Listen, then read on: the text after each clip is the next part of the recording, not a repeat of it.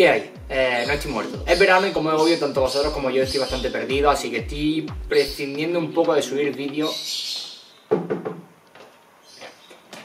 lo que decía, estoy prescindiendo un poco de subir vídeos constantes hasta septiembre, ya que ahí vuelve la rutina, todo el mundo vuelve a su casa, todo el mundo vuelve a internet y por lo tanto todo el mundo vuelve a YouTube. Por lo tanto, eso son más visitas. En fin, la idea del vídeo de hoy no es mía, es de un colega que de Granada, que conocí en Granada hace como unos dos años, a finales de 2017. Recuerdo que fui para allá en Navidad de 2017. Se llama Edu, Eddie Life en Instagram, os lo dejo por aquí. Y él es de Granada, pero ahora mismo está currando en Londres y bueno, también tiene un canal sobre ropa, así que podéis pasaros, ¿vale? Os dejo su canal por la descripción o quizás lo pongo aquí, depende de la pereza que me dé. Pero en fin, lo tendréis sí o sí la descripción. Y hace vídeos muy currados, sobre todo de ropa bastante accesible, así que si queréis pillar ropa y ver opiniones y cosas relacionadas con ese tipo de ropa, pasaros por su canal porque de verdad merece mil la pena. Así que dicho esto me callo ya y empezamos con lo que pedí versus lo que recibí. Número 1. Air Force One.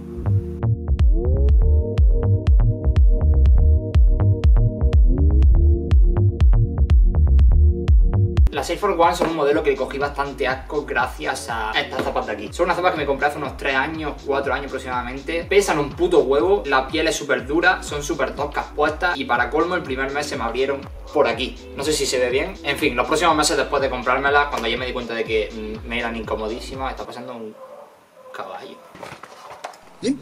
Mierda, no se ve, pero en fin era peña con un caballo. Ahora tengo que, por hacer gilipollas, colocar esto otra vez. Pero en fin, años después necesitaba una zapa para salir de fiesta, algo cómodo, algo básico, algo que no tuviese nada de color, que me lo pudiese poner con cualquier cosa. Y mis colegas, que la mayoría todos tienen Force, a todos les encantan, me recomendaron esta y me las pillé y estoy ultra contento. Pesan bastante menos que esas, es decir, supongo que ya el material ha cambiado un poco. Ultra cómoda, pega con todo, calidad 10 de 10, así que la hostia. Por cierto, me robaron el móvil en el Trimby, me tengo que comprar el iPhone 5S, o sea que ya lo de comprar ropa hasta dentro de unos meses, nada. Prenda número 2, Vans Old School Checkerboard.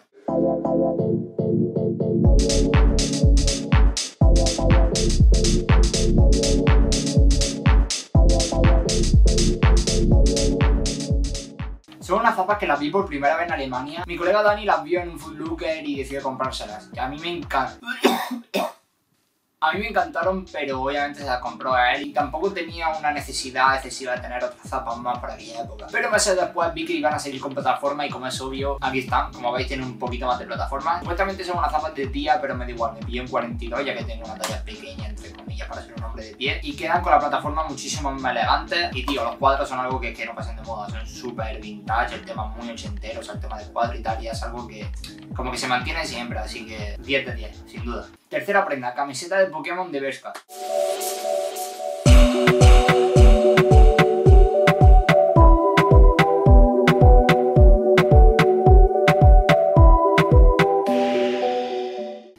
Buscando camisetas de verano para patinar, es decir, camisetas que me desen igual caerme y que se rompan o que se ensucien, no se puede quitar, o sea, me da igual, una camiseta para reventarla como tal. Total, que decidí mirar por la marca internacional de rollo Bershka, Zara, H&M y me metí primeramente en Bershka y vi que había una colección con Pokémon y dije, sin pensarme, la gente que me sigue desde hace tiempo sabrá que soy un puto fan de Pokémon. En fin, la calidad es una mierda, el cuello se queda muy abierto, o sea, no es de cuello redondo cerrado como son los que a mí me gustan, pero en fin, se queda grande, no se pega la piel, es súper verano, súper fresquita, por lo tanto para patinar o sea, de puta madre. Y como obvio, lo que más mola de la camiseta es el puto diseño de la espalda, o sea, está guapísimo. Me recuerda a la camiseta estas de...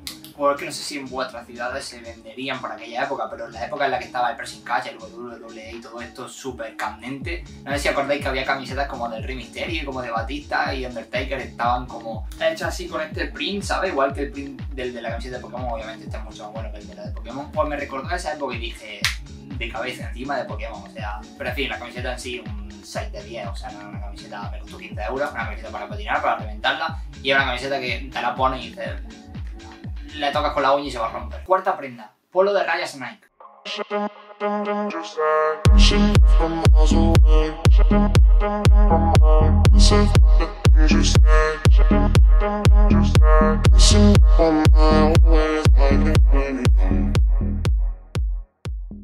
Prenda que me compré para crear un outfit en sí con esa prenda, o sea, con ese polo. Que básicamente se basaba un poco en el rollo este californiano de verano con los pantalones de chándal, el polito y una zapa grande. Y obviamente en mi caso hice el polo, los pantalones esencial y las zapas, las Air Force las que he enseñado primeramente. Y se queda, o sea, brutal, muy chill, te lo, pones, te lo puedes poner tanto para salir a cenar como o sea, para todo, porque el polo da el toque, un poquito más elegante, después los pantalones esencial, ya con el polo parece un poquito rollo golf y con la Air Force pues que se lo puede poner para todo también. Aparte de esto, el polo también se le puede usar para mil millones de cosas, pero en sí yo lo quería para esto, un poquillo de chándal, un poquillo de tranqui, eso sí, prepárate para morirte de calor. Y por último, eh, algo que muchos habréis fijado, la Gami de Swedish House Mafia.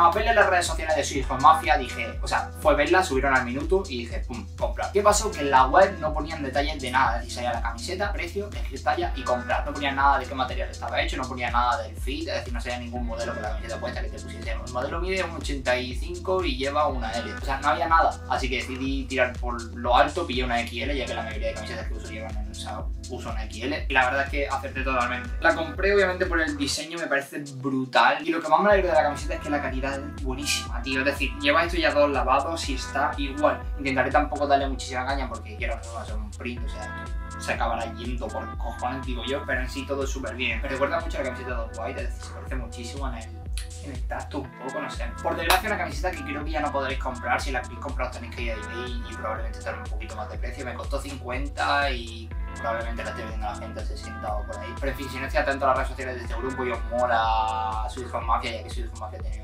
bastante fanbase, si eres una de esas personas, pues podéis ir y quizás la encuentres porque tener una camiseta de un grupo que en mi caso me marcó en 2014, 2013, no sé, cada vez que esta camiseta puesta, aunque la gente no sepa de qué coño la camiseta, a mí me encanta, y me siento bien llevando esta camiseta y sin duda una de las mejores camisetas que tengo.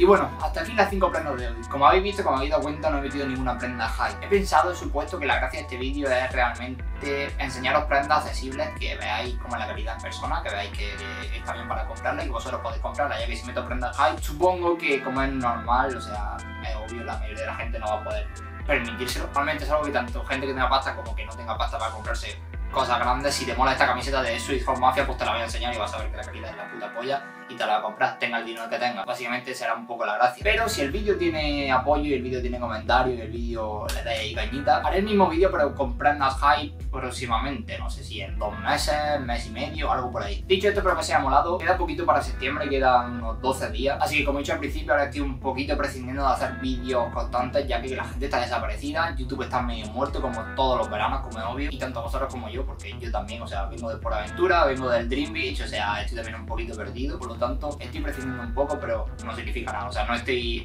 Sigo a tope, ¿vale? Así que en septiembre, de nuevo, cuando vuelva a la rutina, yo empezaré con un vídeo semanal y ya hasta que me rollo. Así que dicho esto, nos vemos en el próximo vídeo en unos 10, 12, 15 días aproximadamente. Dicho esto, nos vemos.